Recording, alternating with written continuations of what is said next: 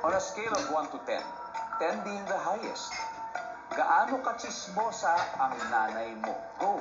Seven. Saan ka pwedeng makakita ng judge? Uh, in the court, the Supreme Court. Pag lumabas ang teacher sa classroom, saan kaya siya pupunta? In the canteen to eat. Teacher's room. Word na karime ng date. Hey, Uh, mate. Anong araw ka pinaka-late matulog? Uh, Saturday. Let's go, Miss Piggy. What? Saturday? Well, it depends if you can go to church on Sunday. Gaano That's the question. Nanay mo. Ang sabi ng 10. Ang sabi ng survey ay, Nice. saan ka pwedeng makakita ng judge? Sa korte. Correct. The Supreme Court. Survey ay, Exactly. Pag lumabas ang teacher, saan kaya siya pupunta? Sa teacher's room. Ganyan ano. Oo. Teacher's room or the faculty. Meron. Word na karime ng date. Ang sabi nyo ay, hate. Survey says, I hate getting not the good answers. Ang pinaka-late matulog, sabi nyo Sunday. Ang sabi ng survey ay, meron. Dude, It has to be Friday or Saturday. That- that was very Or better good. yet, Friday night. That's why Amazing Earth is shown every Friday night, right, Top Maniac? So that people want to enjoy their long weekend, they can start off by watching Amazing Earth. That's a good trend for children. Pero masayang masaya nakita kita. Ay, nako, ma'am. After 16 years, oh. Kami rin, kami rin ako.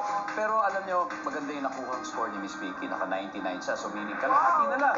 Kaya-kaya niyo po ito. At this point, makikita ng mga manonood ang sagot ni Miss Vicky. Kaya bigyan niyo po ako ng 25 seconds. At eto. Let's go! Go, John! On a scale of 1 to 10, 1 to 10, 10 po yung pinakamataas.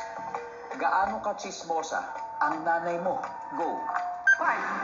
Okay, Saan ka pwedeng makakita ng judge? Sa korte. try again. No, how about in competitions? Pag lumabas ang teacher sa classroom, saan kaya siya pupunta? CR. Pwede! Naka-rhyme ng date.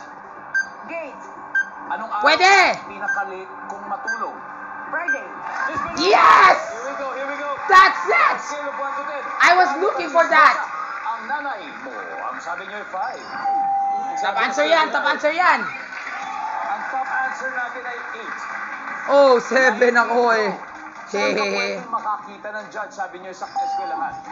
Ang sabi ng survey dyan ay, May ba school judge yun?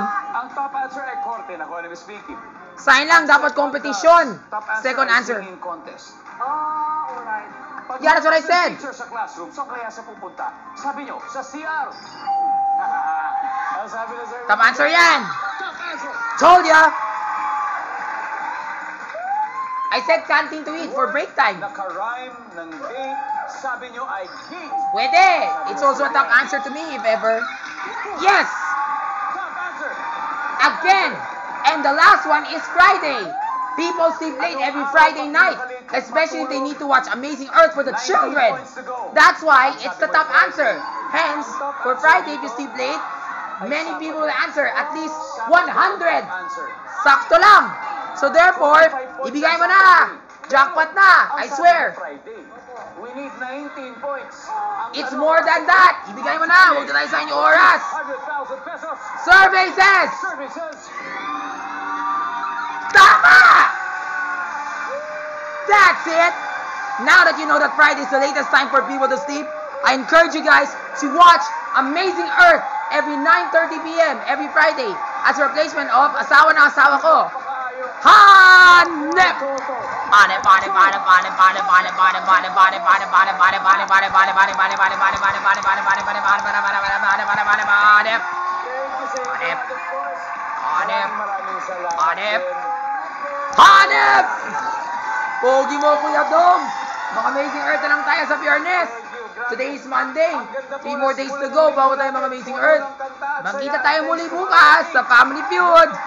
At sa Prab Yearness naman sa Yearness na gabi naman sa Amazing Earth.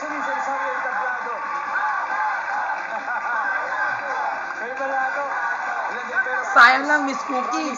Dahil na nangyari kay Kuya Wensi kanina eh. If you want to see that, please watch it on the YouTube.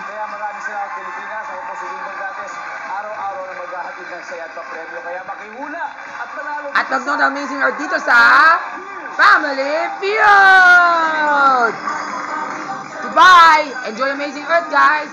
Friday night, tandaan mo yan.